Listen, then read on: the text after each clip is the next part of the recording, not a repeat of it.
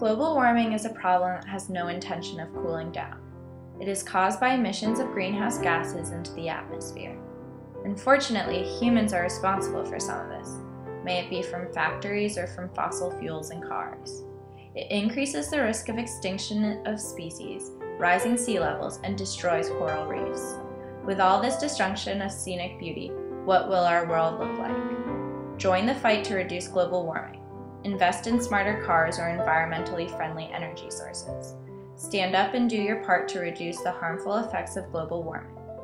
Why stand by and watch your home disappear?